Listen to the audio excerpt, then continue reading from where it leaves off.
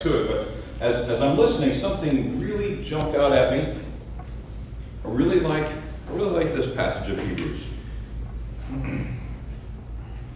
Um, verse, uh, verse 3 of chapter 11 says, uh, By faith we understand that the world was prepared by the word of God, so that what is seen was made from things that were not seen. Paul is writing in a time when they didn't have the scientific understanding we do. We, going off a scientific explanation of the earth, understand there was a creation of the earth and an age of the earth that, uh, that, that, that we can understand a little bit better.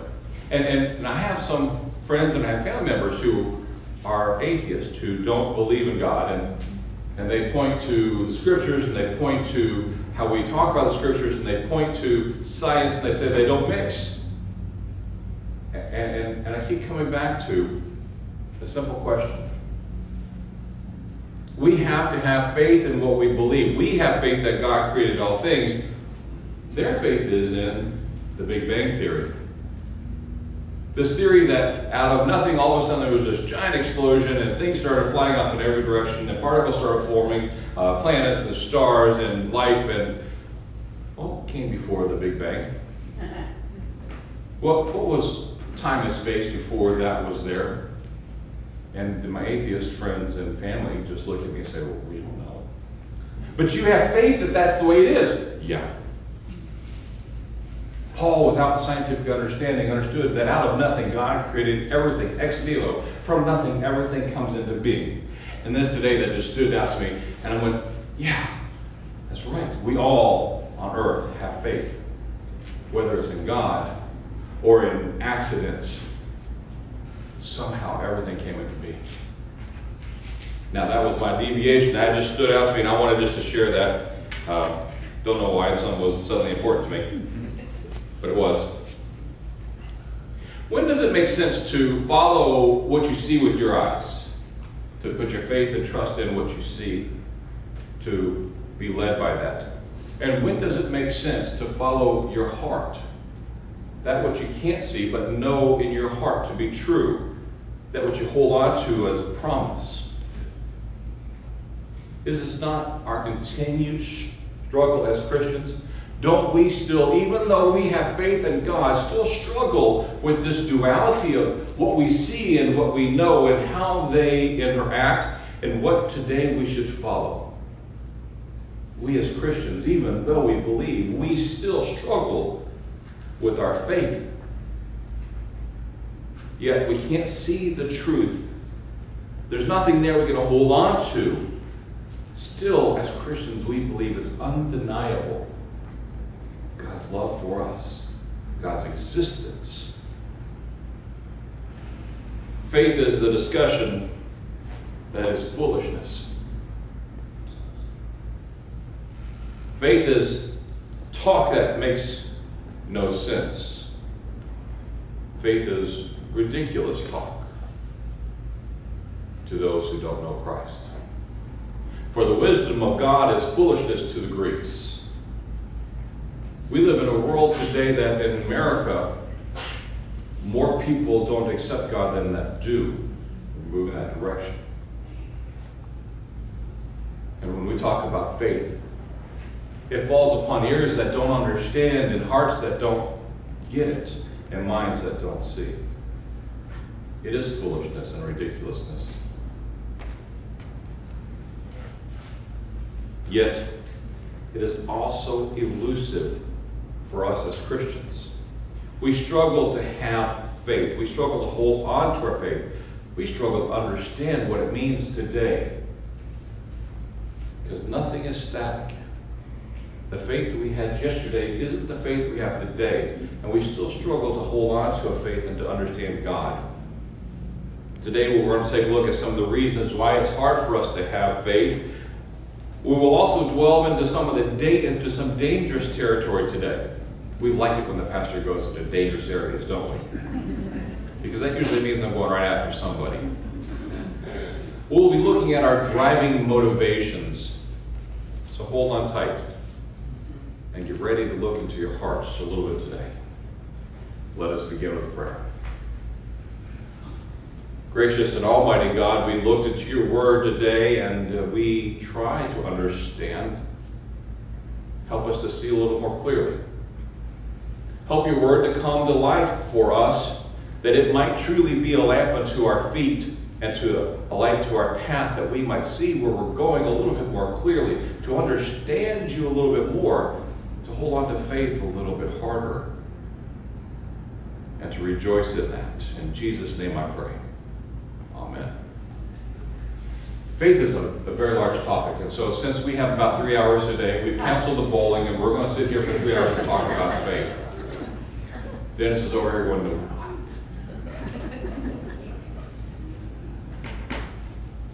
Faith is, for the most part, difficult for us because it doesn't give us a full picture.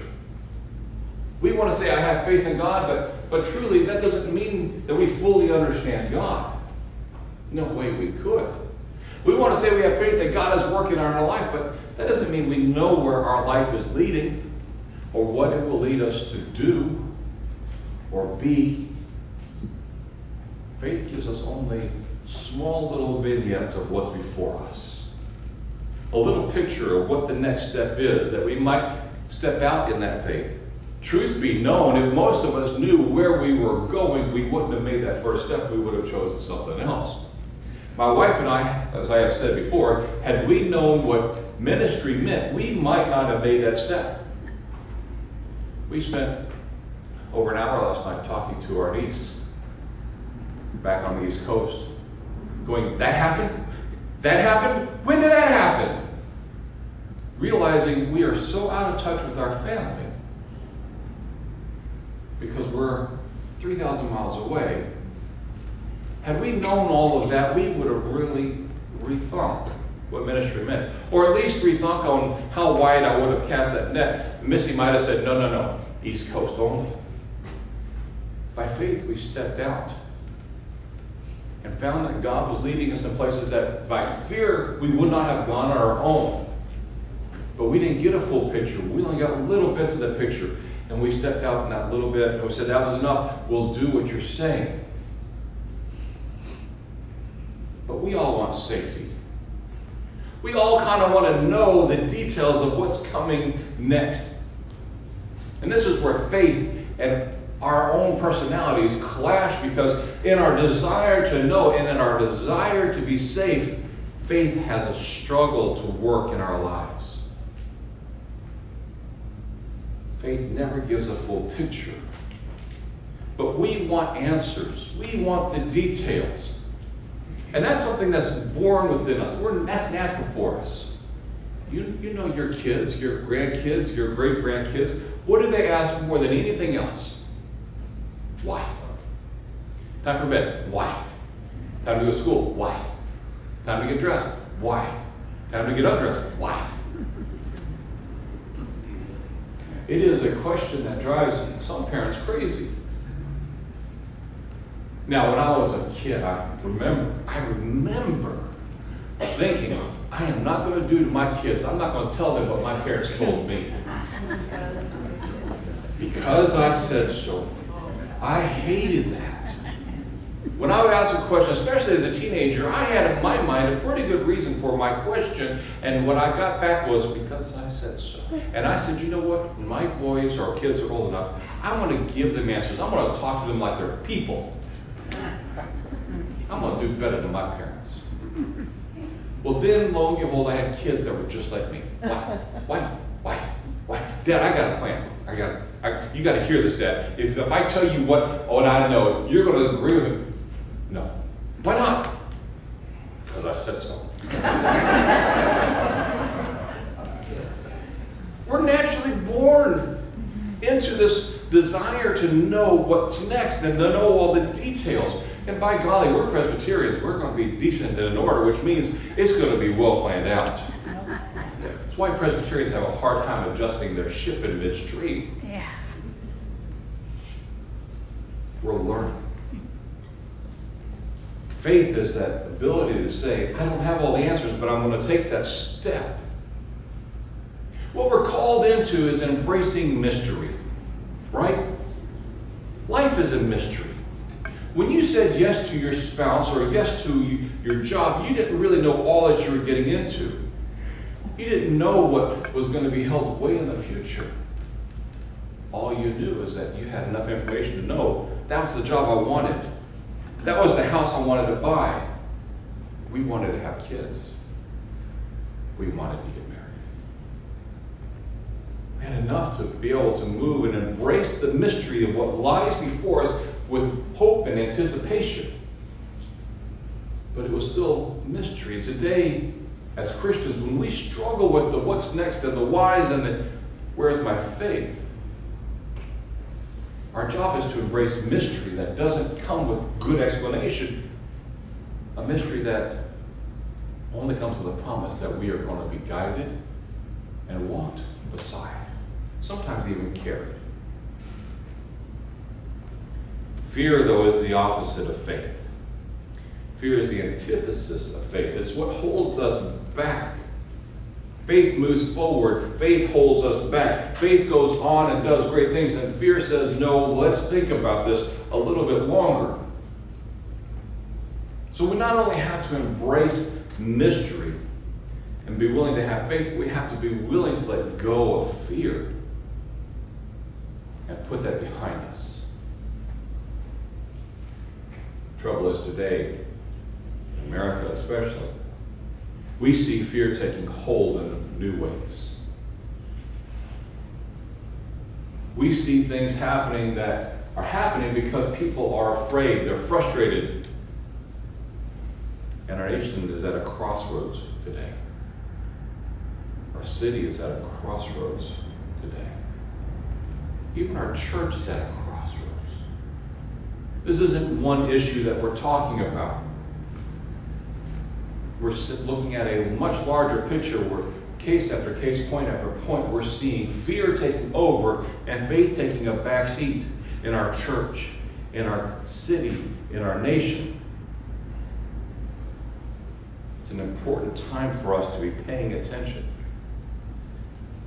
And you can define what we're talking about any way you want.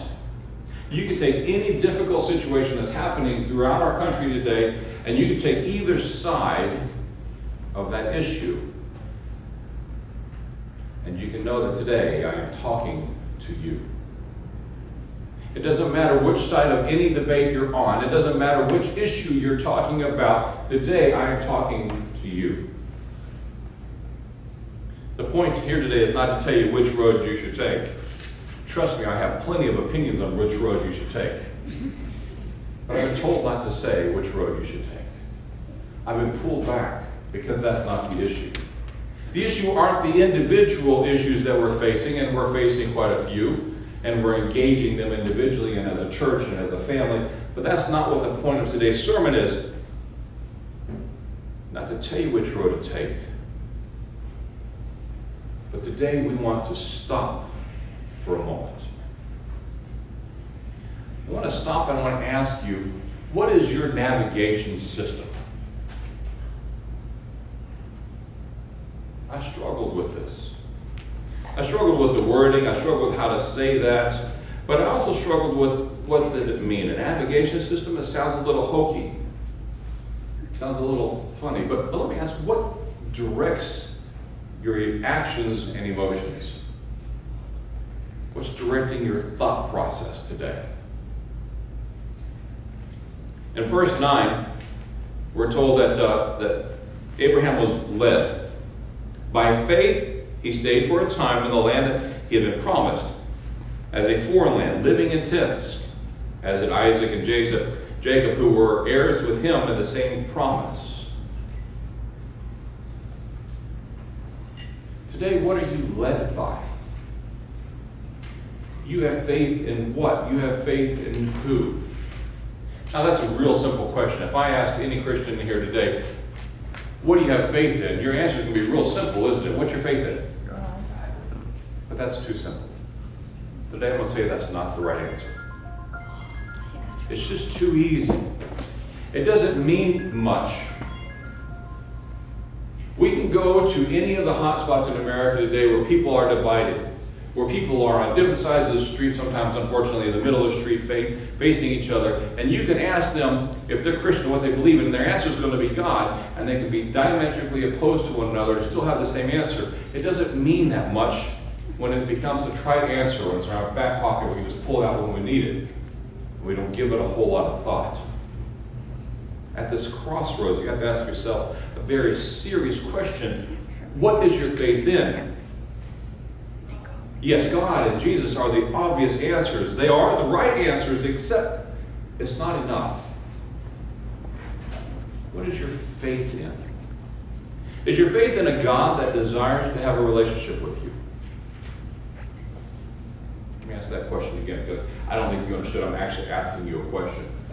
Is your faith in God a God that desires to have a relationship with you? Yes. Yeah. Does God desire an eternal relationship with you or a temporary relationship with you? Eternal. I was hoping you would say that. And I believe, again, if we went to every hotspot in America and we stopped everybody for just a moment and were able to dialogue with them just a little bit and ask them that question, they would say the same thing. They would give the same answer. They wouldn't give a different answer. Many of these people even truly believe that answer. Not just something they were taught, not something they learned, but they, they tried to live that. They know that. But does that faith really guide our actions?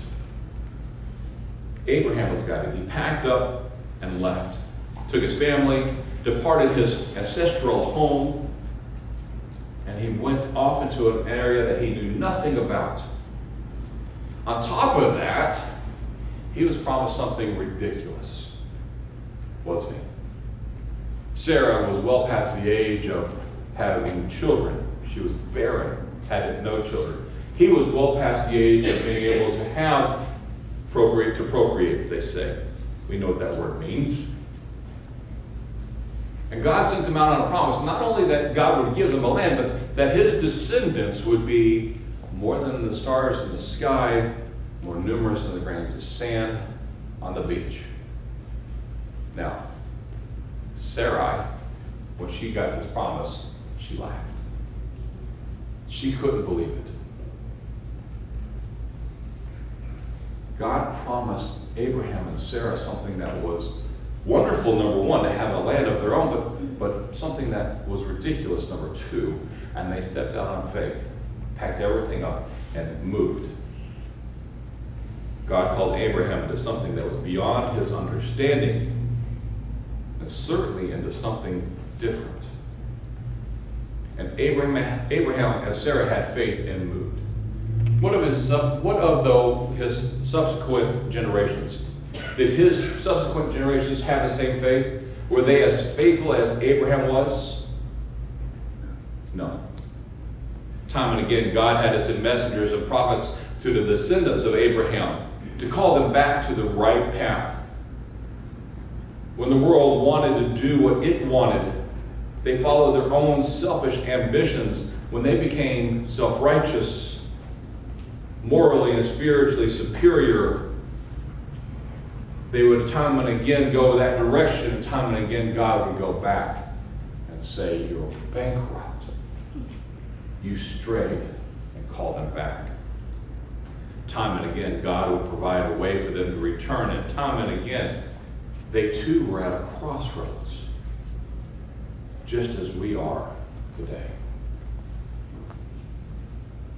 What is our compass today? We struggle in many ways. And let me affirm that these struggles that we face are complicated. There is no simple answer for any of this. But allow me to challenge us with a question Allow me to challenge us with a question that will hopefully give us all just a moment of pause. The question is Does God approve the way that you or we are living out our faith?